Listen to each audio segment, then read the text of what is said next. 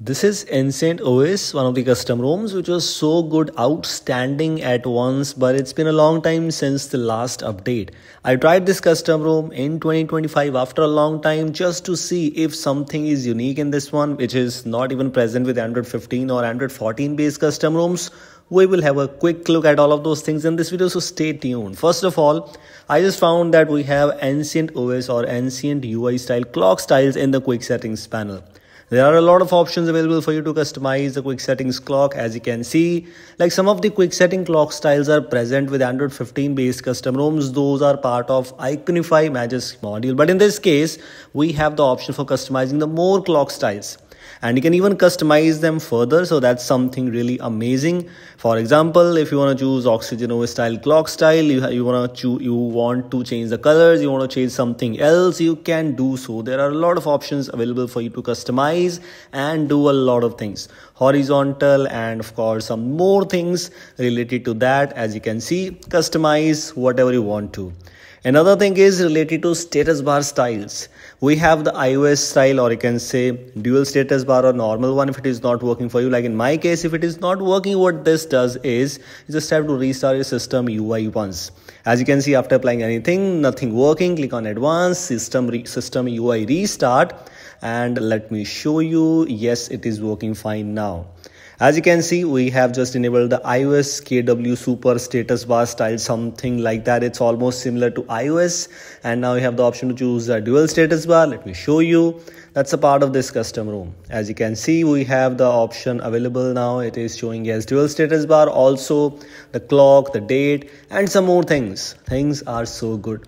Also, one more thing is related to battery customizations. There are a lot of options and tweaks available for you. You can customize the margin, left, right, top, etc. etc. I mean, almost every customization, whatever you can simply imagine, is almost present in this custom ROM in the terms of customizations. Things are just so good you cannot miss them at all. We have battery related tweaks. There are a lot of options available. Some of the battery icons some of the battery icon shapes are already a part of some custom ROMs but not all. So that is the thing which you can find out. As you can see you can customize a lot of things battery image rotation and some more things. This is all about the customizations which are present with Ancient OS nothing more like that. If you need customizations you might need this thing. If you don't want customizations you can simply skip this thing on your device. For example you also have the options or customizations related to theming. So for example we have the option for settings ui customization which is one of my favorite feature personally speaking. Click on theme section. We have the option for settings base, which is one UI style and also this style. One more thing is, let me show you if you if you choose this one UI style, you will notice that Ancient Features has this one UI style UI available. It's just all about customization. It's not about features, by the way. Also, one more thing is you can see you can customize the Ancient Features hub where you have all the customizations available, how you do customizations and something like that. Ancient OS theme, craft with heart, etc. etc. A lot more things to customize. One more thing is you have the about phone style customization. So for example, I just enabled this. This is Oxygen OS style about phone UI. I personally love this thing a lot. Whenever I use Ancient OS, I use this feature especially. You also have the option to choose the Oxygen OS style UI in the settings app. So it looks like it gives you the vibes of like you're using an Oxygen OS custom ROM or Oxygen OS software. Depends upon which device you are using. This seems so good some of the things or uh, some of the customizations are just not good or not useful but some of them are actually so good so it's already it, it all depends upon you how you think about it if you love this thing you can. If you don't if you can simply skip this thing it's totally up to you. Some of the other options like you have the option for settings homepage theme customizations as i just told you i always use oxygen os on my device. Talking about some of the other things in the terms of theming for example icon pack customizations for example, as you can see, status bar icon customizations are here.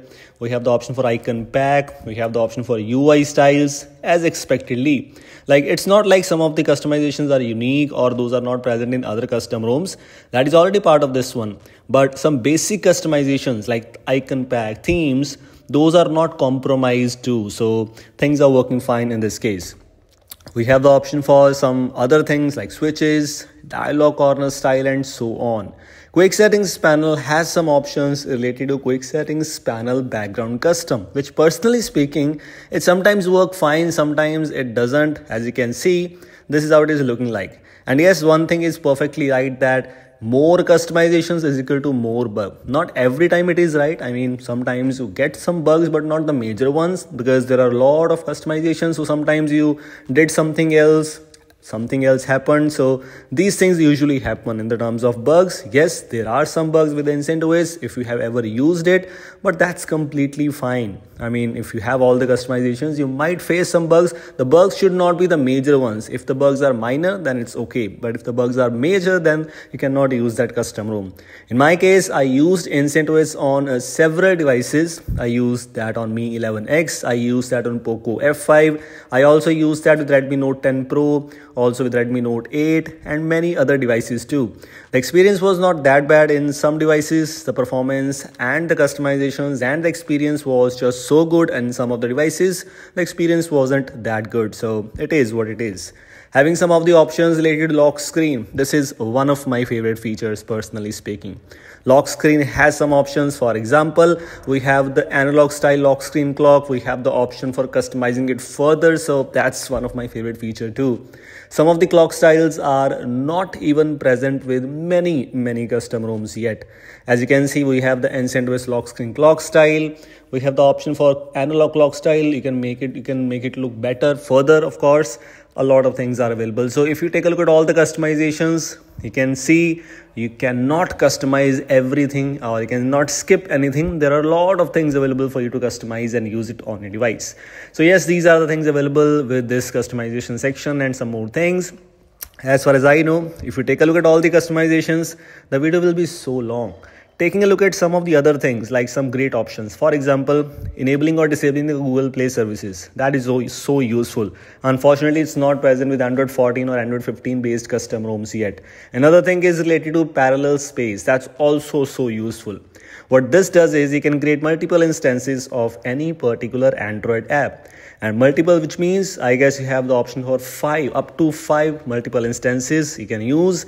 Also some options related to spoofing are also present. You have the option for google camera spoofing unlimited photo storage allows signature spoofing, higher FPS in games, and a lot more extra things in the terms of spoofing. So, as far as I know, most of the features are already available, already working, so that's good.